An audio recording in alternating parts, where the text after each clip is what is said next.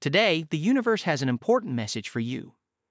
Contemplate the fervent prayers of Joshua, a revered figure in biblical history, as a testament to the profound impact of seeking God first. It was under Joshua's leadership that God performed the miraculous feat of halting the sun and suspending the natural order for the benefit of the children of Israel. This remarkable event serves as a compelling illustration of God's extraordinary power to intervene in the earthly realm on your behalf. The divine message resonating with profound clarity today is unequivocal. Concentrate your focus on God rather than becoming entangled in the battles and challenges that confront you. When you earnestly seek His kingdom first, His kingdom takes up arms in your defense. Furthermore, it is imperative to acknowledge that the omnipotent God you serve transcends all worldly powers, as articulated in 1 John. You are of God, little children, and have overcome them, because he who is in you is greater than he who is in the world. Have you fully comprehended the immense power vested within you as a devout Christian?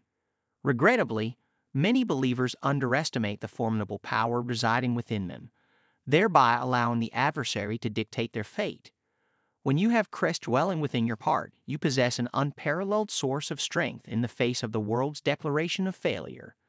The omnipotent power within you proclaims your success in the midst of a world that proclaims impossibility. The indomitable power within you urges you to persevere.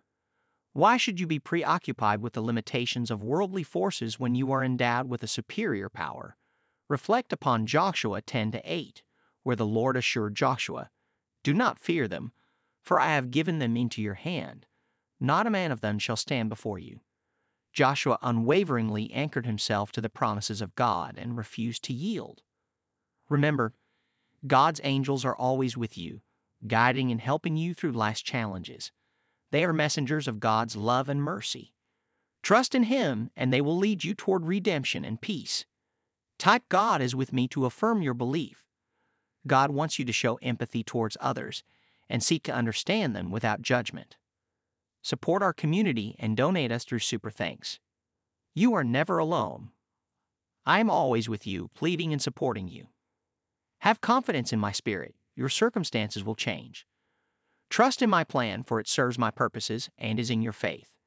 Extraordinary blessings are on their way, so keep striving for your goals. I will provide a way for you, restore you, and bring healing. Have faith, for your breakthrough is near. Support our community and donate us through Super Thanks. Even when the odds appeared insurmountable, he epitomized faith in the face of the seemingly impossible and held God to his word. Now, consider your own life. What seemingly insurmountable challenge currently looms before you?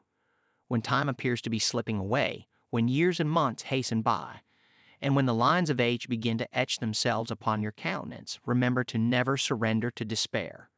Maintain an unshakable faith in God, even in the most formidable of trials, and keep the flame of your faith burning brightly.